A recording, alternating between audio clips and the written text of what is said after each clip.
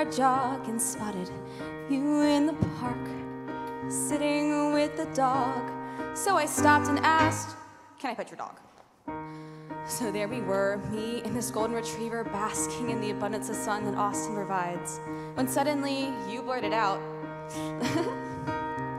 This isn't my dog, actually.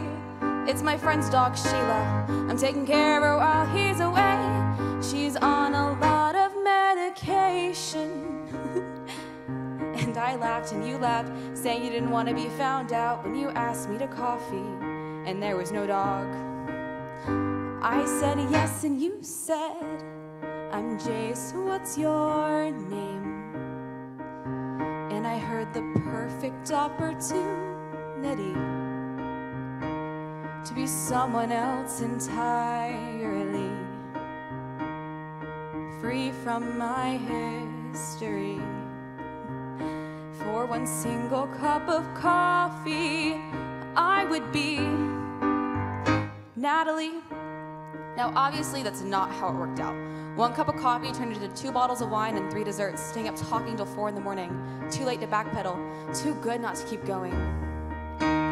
It felt like my life, but the better version.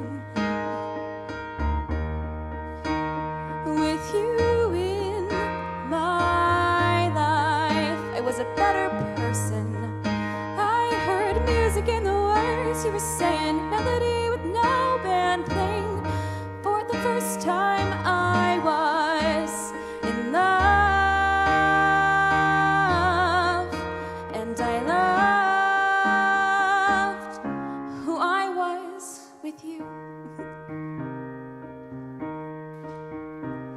All the mundane stuff I used to hate, like recycling plastic or flossing every day, making breakfast, paying bills, watering the plants on our windowsills, was invigorated with your sense of wonder.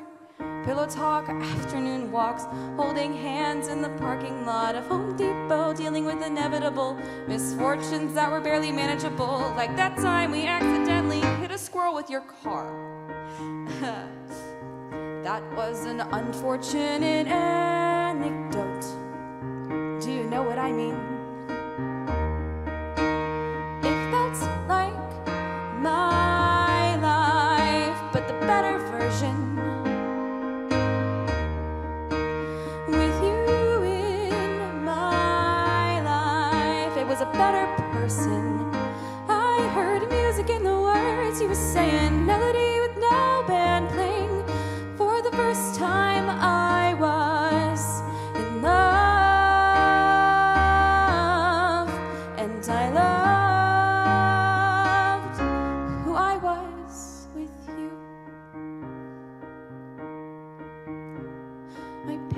Finally tracked me down after years of jumping from town to town. They found you and me, men in suits at our front door, asking you about Judith Ford, and I knew instantly.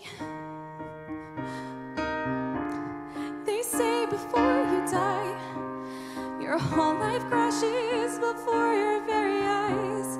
But it didn't the first time, but this time I heard each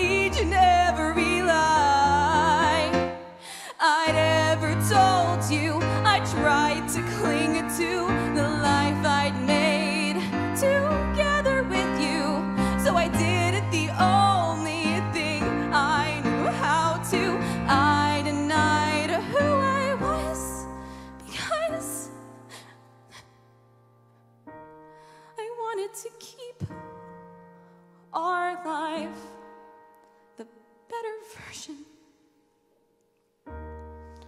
Natalie, your wife, she was a better person. I memorized your voice and how you said goodbye, but you never said goodbye. You never said goodbye.